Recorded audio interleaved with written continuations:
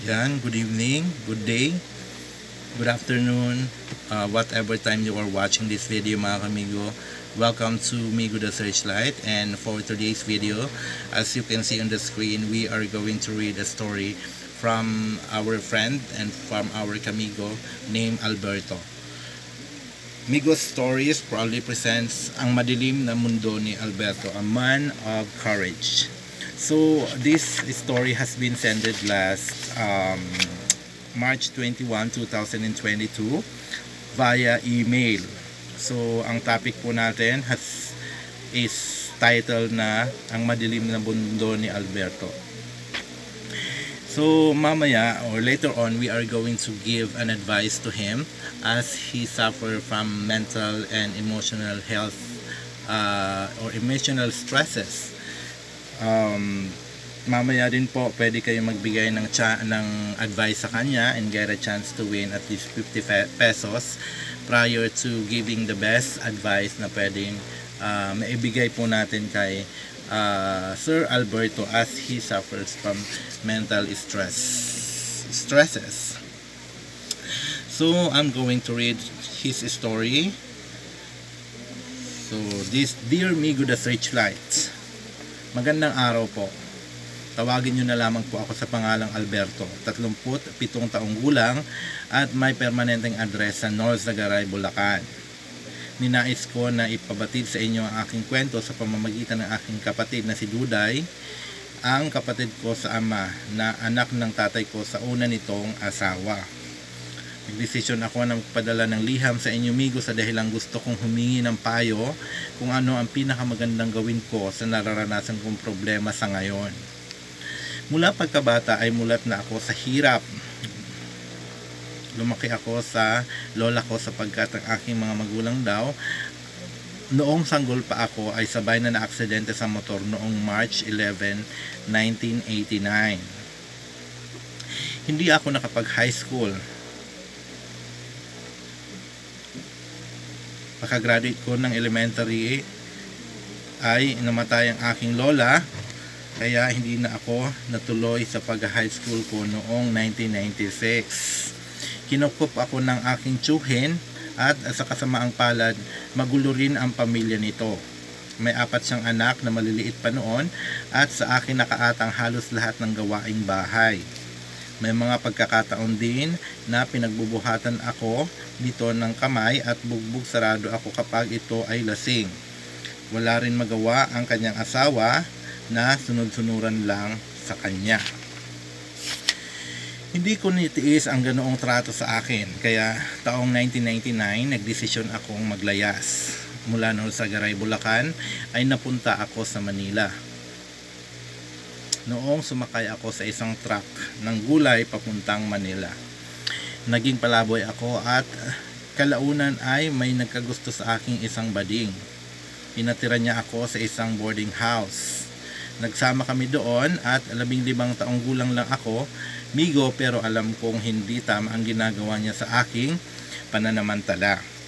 Nagsama kami hanggang taong 2002. Noong labing, labing pitong taong gulang ako ay nagkagusto ako sa isang babae. Hindi ako gusto ng pamilya ni Trina, ang babaeng gusto ko. Kadahilang wala raw akong maayos na pamilya at hindi nakapag-aral Naghanap, naghanap ako ng trabaho dito sa Manila bilang isang construction worker at nakapag-ipon ng 10,000 at naisipan namin ni Trina na mag uh, magtanan mas matanda si Trina sa akin. Labing siyam na taong gulang siya at college student. Meron din siyang naipon na labing limang libo. At naisipan namin na mangupahan sa Tondo, Manila. Nalulong ako sa pinagbabawal na gamot at nagdulot ng paghihiwalay namin ni Trina. Taong 2004 ay nakulong ako migo sa uh, nakulong ako na nagdulot sa akin ng sobra-sobrang hinagpis sa buhay.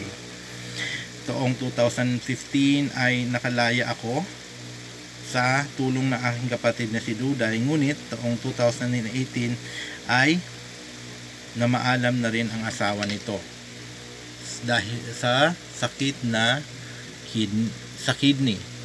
Bumalik ako sa kalye nung naibenta ko lahat ng gamit ng kapatid ko nang minsan ay umuwi ito sa probinsya.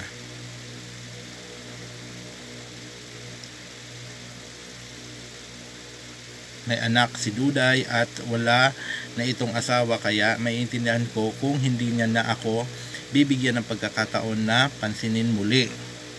Ngunit noong November 2019 ay nakita ako ni Duday sa palengke na naglilimos, namamalimos at pinabalik ako nito sa kanyang bahay. May konting tindahan si Duday ng sari-sari store na sapat lang din sa kanila ng kanyang anak. Kaya naghanap buhay ako. Ako, naghanap ako ng trabaho ngunit noong 2020 ay naramdaman kong hindi na maayos ang aking pakiramdam. Nagsusuka na rin ako ng dugo kaya mas pinili ko na magpahinga muna hanggang sa ngayon. Marami pa akong nararamdaman sa katawan, Migo, pero ninanais kong manahimik na lamang para hindi na madagdagan ang pasanin ni Duday ano po ba ang pinakamaganda kong gawin ngayong hindi ko na alam ang aking prioridad sa buhay at naiisip ko na lamang na mawala sa mundo. Sana po mabigyan niyo ako ng payo sa aking nararanasan na paghinagpis ngayon. Lubos na nagmamahal at nagpapasalamat Alberto. Alam niyo po, Mang Alberto, everybody has a chance para magkaroon ng another uh, chapter ng buhay natin. So, yung naranasan niyo po na madilim, na medyo masalimuot, ay I think uh, it will just part of your story bilang isang tao. Everybody has a chance na magbago and uh, it's not too late para po sa inyo na magbago and mag-look forward po kayo kung anong pinaka uh, the best na pwede nyong magawa. Since um, si Duday po is nandyan para tumulong sa inyo as a sister I think uh, she's a very uh, precious gift na binigay sa inyo ng Panginoon because uh, she gave you at least na isang tao na pwedeng tumulong sa mga nararanasan mo as you have said a while ago based doon sa story mo uh, tinulungan ka ni Duday na makalaya doon sa kulungan. And I think uh, that's the great honor that's a great uh, favor na nakuha mo sa kapatid mo. And uh, you have always a chance para magbago pwede, po, pwede ka pong at least uh, magpatingin muna sa doktor kung merong sapat na pera ka na o yung kapatid mo pwede ka manghiram para at least ma-identify nyo po kung ano yung problema nyo and uh, hindi nyo rin po na-mention dito kung anong particular na uh, sakit kung meron mang na-identify na sakit na sa inyo, I think that's uh, the time na mag-focus kayo kung paano kayo ma-heal doon sa sakit nyo para makapag-restart po kayo ng panibagong ambition, magkaroon kayo ng rebuilding of ambition para magkaroon kayo ng uh, prioridad sa buhay and um, if possible magkaroon kayo ng ana, uh, family, na pamilya nyo, magkaroon ka ng uh, mga anak sa mga darating pan panahon. I think it's not too late for you to change, Mang uh, Alberto. It's just a matter na naging victim ka ng uh, pagkakataon in a wrong uh, in a wrong time because uh, everybody has a burden naman po. Lahat po tayo may kinikerry na burden and uh, it is just a uh, matter of how we uh, gave a right battle doon sa naranasan nating problema. Yun po ang magiging advice ko sa inyo mga Alberto. Identify your health problems and focus doon sa uh, pagbibigay uh, ng solution doon sa problem nyo na kung ano man yung health problem nyo ngayon.